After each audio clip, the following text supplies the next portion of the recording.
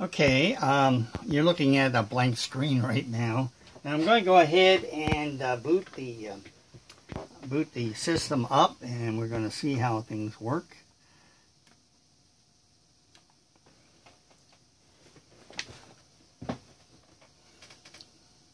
Okay, it's in the process of getting things booting now.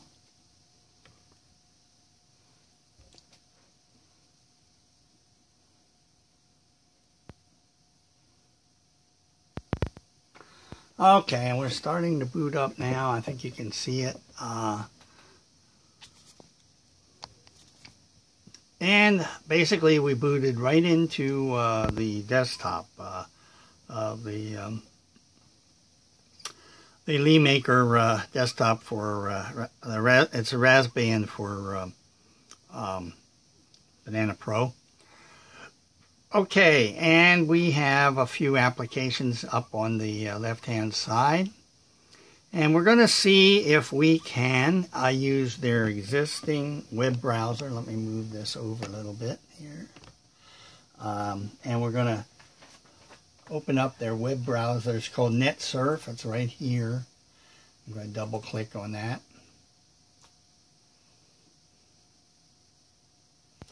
Okay, so we got a NetSurf here, and we're going to go ahead and uh, and try and go to BBC News. Okay, everything uh, looks like it's working. Uh, currently, I have this uh, attached to a wired um, Ethernet cable. Uh, so we're going out um, through the wired Ethernet. And as you know, the Banana Pro has a um, a, uh, a wireless uh, connection. So what I'm going to go ahead and do is uh, disconnect the uh, wireless connection, I mean the wired connection. Okay, that's now disconnected. And let's see if we can go to any other website now. Let's do routers.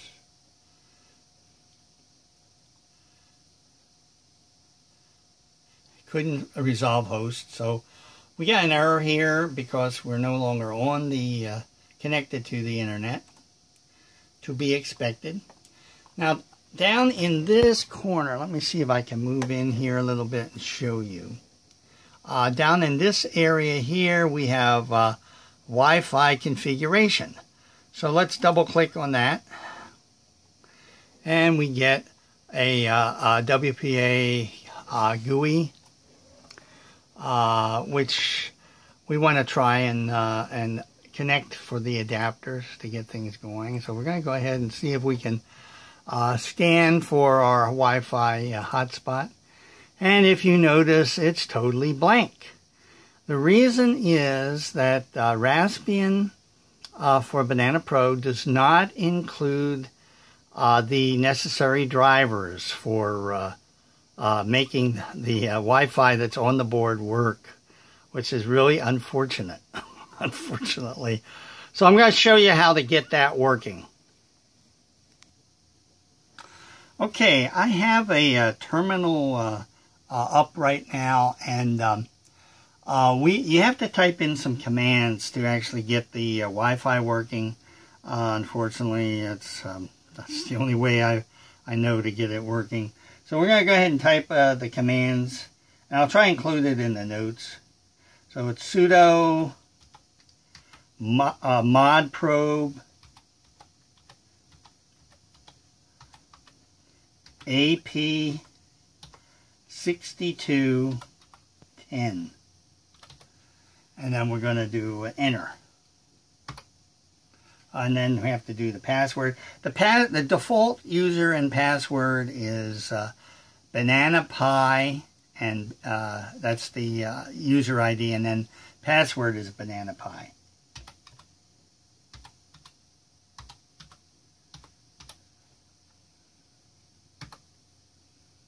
Okay, so that's the first step. Now I'm going to do um, I'm going to do a list uh, of what's running here. So I'm going to do list mod. Okay, and it looks like we got now have the module AP6210 running. That's what we see on the on the first uh, uh, item uh, there. Now, uh, if we go back to NetSurf, let me go bring that up. Okay, could not resolve NetSurf. Let's try this. And uh, let's do this. Let's see if we can get anything here. Let's go ahead and close this. And let's open it up again.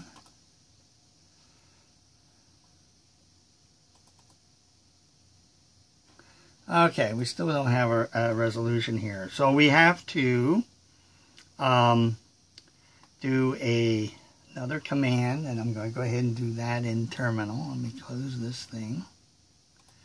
Let's go ahead and close it completely. Okay, we are going to do sudo dh client dash v. Okay, let's see what we got here. Oop. D um, I got DNC. Let me try that again. Uh, sudo DHC L I E N T dash V.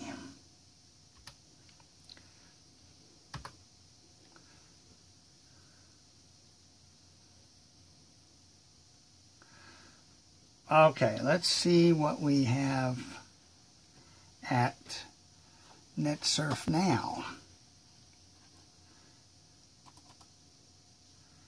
And we still can't resolve it. Okay. All right. Okay, uh, we've uh, installed the uh, module uh, for the um, uh, Wi-Fi uh, on onboard Wi-Fi for Banana Pro. And now basically what we have to do is we have to uh, release the um, uh, current IP address which was assigned through the um, through the um, hardwired Ethernet connection that we disconnected, and then uh, renew the the, um, the connection. So what we need to do is type sudo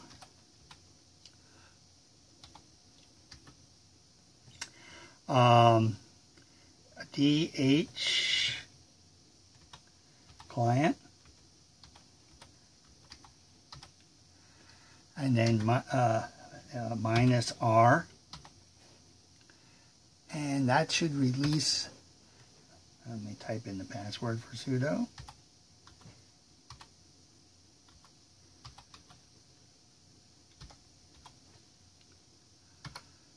Okay, so we have released the um, IP address. Now we have to renew the IP address, and we do that sudo dh uh, without anything.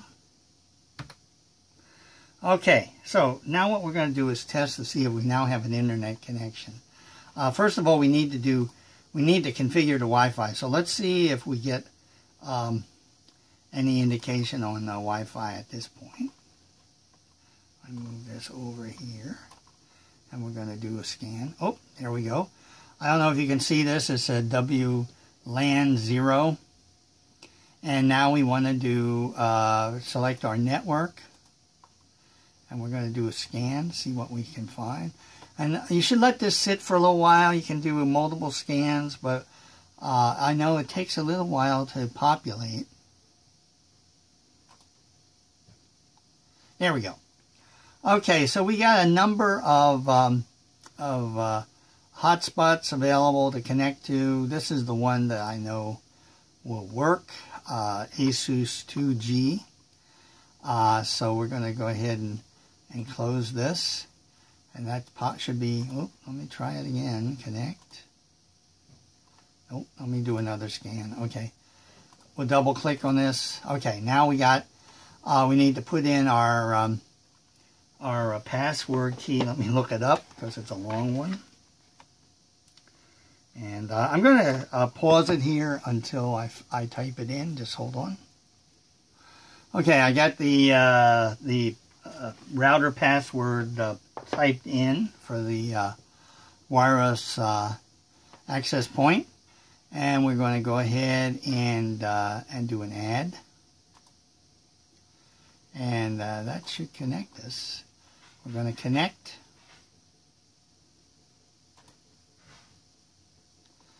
And we're connected. We have an IP address and we're connected. So we can go ahead and close this. I'm going to minimize the terminal just in case. And we're going to open up NetSurf again. And we're going to hit on BBC News. And we're uh, back connected to the internet. Okay, now unfortunately, if we shut down at this point, we'd have to go through all those processes. And we definitely don't want to do that every time we turn the unit off. So we got to make a slight change uh, to a, uh, a file that is uh, basically a configuration file so we need to type in sudo nano, and nano is a text editor uh, in Linux. And then we type in slash etc slash modules.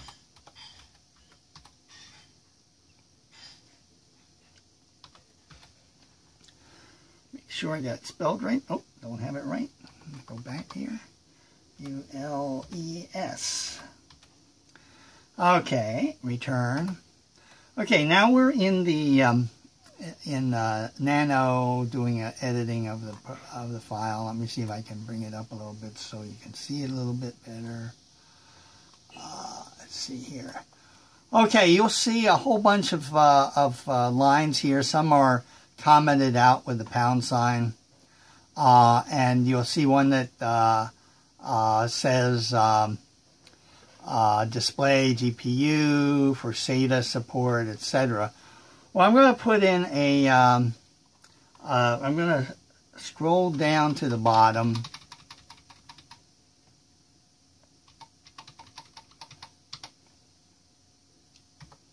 We're going to do a comment line,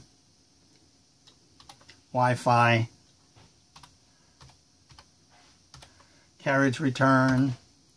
And then right under this, we're going to type AP uh, 6210.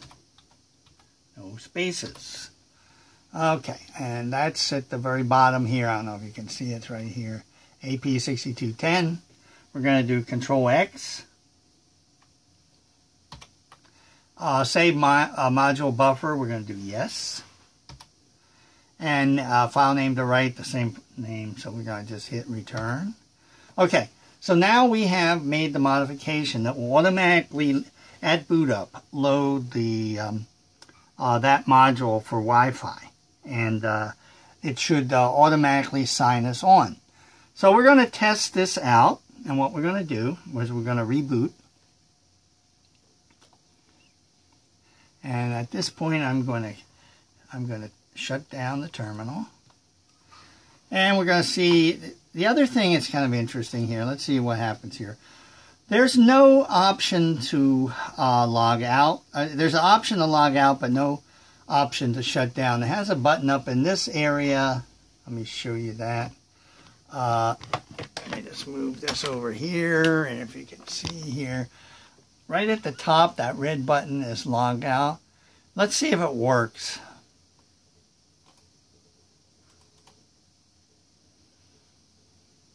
And as you can see, that button does not work. It uh, uh, even though it says it will log you out or, or will shut down the computer, it doesn't shut it down. And the other thing, if you go down to the bottom menu, let me see if I can show you this. You can bring up this little uh, menu here. There's no option to shut down uh, from the from the desktop, which definitely is a problem as far as I can see with the software. And um, so the way we're going to reboot here is we're going to, uh, there is a, um, a shutdown button. I'm going to go ahead and shut this thing down completely just by holding, you can unplug it too, but uh, I'm going to use the button that they have on the, uh, on the board to do, uh, a power down, and then I'll be right back. Okay, I've shut down the uh, Banana Pro and we're going to uh, power it back up. Okay, it's now powered up and we're going to wait for it to boot up.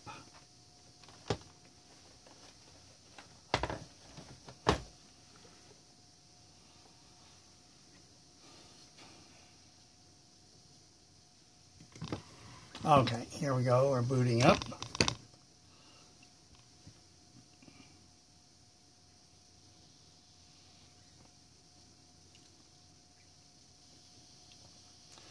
Okay, we are back on um, the desktop, as you can see. Pull back a little bit. Okay, now, okay, currently the um, uh, there's no uh, wired uh, Ethernet connection. I booted it up without the wired Ethernet connection. So let's see if we have a connection to the internet. I'm going to hit NetSurf again. And BBC News. And we have an internet connection. So we are connecting through Wi-Fi. This process is the only way you can get Wi-Fi to work uh, until you uh, until you install that module and make the modifications.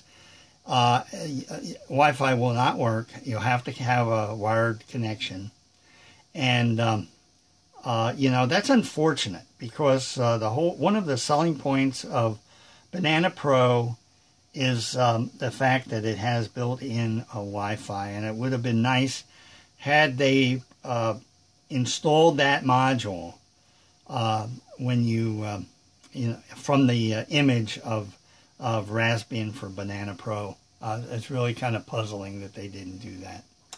Okay, I'm going to uh, stop this video here, and we're going to go on. I'm going to show you some other things that you got to do manually to get this really using all the features of Banana Pro. The next uh, video is going to be uh, to show you that it doesn't come up uh, recognizing the hard disk that you have connected. You have to go through a process to actually get the uh, disk to mount and to have it mount as a normal uh, course of events. It will not mount uh, out of the box when you uh, first load this operating system. Okay, thanks a lot.